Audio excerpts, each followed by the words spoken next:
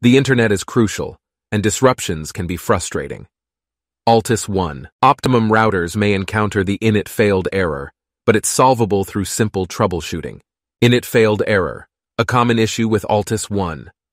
Optimum routers, indicating a connection initialization failure, resolvable through simple troubleshooting methods. Reset your router. Restarting the router can re-establish gateway links and refresh the network, often resolving the error. Check for packet loss. Analyze network strength and look for packet loss issues, which can be a cause of initialization errors. Install all router firmware updates. Regularly update router firmware for improved cybersecurity, network quality, and potential issue fixes. Contact customer support. If basic troubleshooting doesn't work, seek professional help from customer support to resolve more complex issues. The Altice One router might be one of the best pieces of equipment, and the service is usually reliable. However, technology can act up any time. If you love the video, comment down below.